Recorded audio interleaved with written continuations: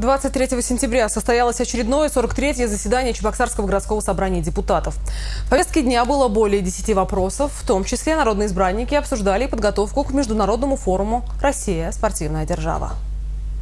На заседании было принято 10 решений по вопросам, касающихся управления муниципальным имуществом. Были внесены изменения в правила землепользования и застройки Чебоксарского городского округа, в положение о порядке организации проведения публичных слушаний, в схему размещения рекламных конструкций на территории столицы, в правила эксплуатации, восстановления и охраны зеленых насаждений.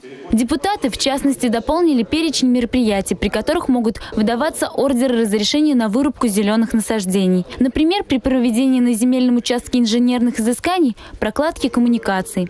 Все основные вопросы, стоящие на повестке дня, депутаты обсудили за 27 минут. Это говорит о том, что все вопросы были тщательно проработаны в комиссиях. Кроме того, заместитель главы администрации города Алла Салаева представила спортивную атрибутику и сувениры с фирменной символикой города, подготовленные специально для форума «Россия. Спортивная держава».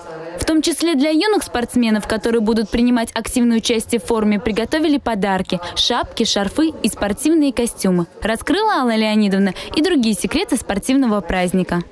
Состоится одно из мероприятий, которое привлечет внимание всей страны. И главным режиссером этого мероприятия является академик, режиссер-постановщик массовых спортивных представлений, лауреат э, международного конкурса режиссеров. Это Алексей Валентин Александрович. Он сегодня с командой а, из большого количества режиссеров уже выстраивает спортивный парад. Это будет очень зрелищно. А, сегодня уже достигнута договоренность из Музея Олимпиады 80 а, будет открывать этот парад тот самый Мишка.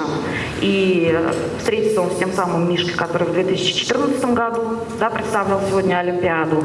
И именно с этого начнется со встречи двух символов Олимпиад, самых известных и самых важных для нашей страны, и начнется этот парад.